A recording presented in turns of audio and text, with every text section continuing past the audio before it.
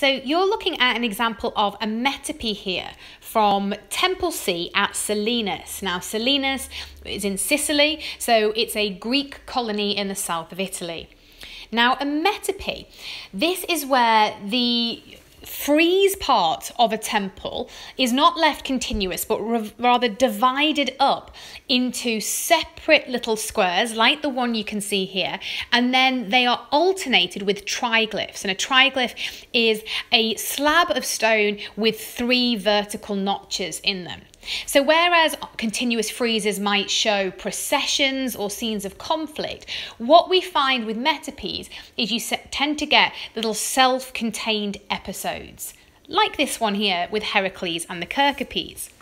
Now, the story comes from Diodorus Siculus here, and he tells us that Heracles um, stopped for a sleep, put his weapons beside him, and Kerkopes, two of them, who were kind of mischievous creatures that roamed the forests, came across him and tried to steal his weapons. Now, Heracles is never going to stand for that, and of course, you can see here their punishment. He's captured them and he's strung them upside down.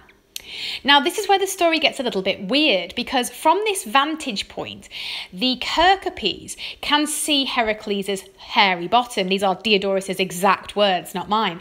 And they start laughing, which in turn causes Heracles to laugh, and he eventually ends up letting them go and forgiving them. So the poses here in this particular metope are really good for aiding the narrative because ancient viewers looking at this and seeing the two um, strung upside down would uh, straight away get that reference and know what story they were looking at.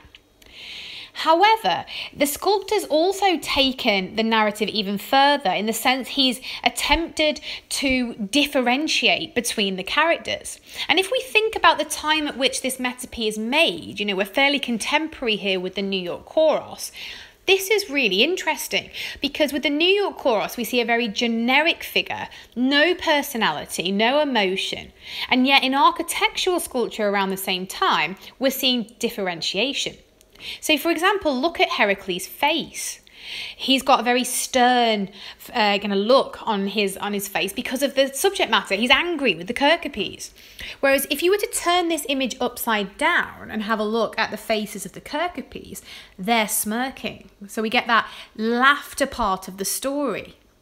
And it's not just the emotions at which the sculptor has attempted to differentiate as well. If we look at the anatomy, so Heracles is much heavy uh, defined than the Kerkopes, as you would expect from our, our strong demigod. You know, his thighs are well rounded, he looks superior and stronger than the Kerkopes. So all of this helps to aid the narrative, but also help us to easily identify the scene and what's going on. However, it's not all entirely realistic. If you have a look at Heracles' pose, the artist has still not mastered that twist in the torso. Okay, the fact that the upper body is facing forwards, the lower body is in side profile, which is technically impossible.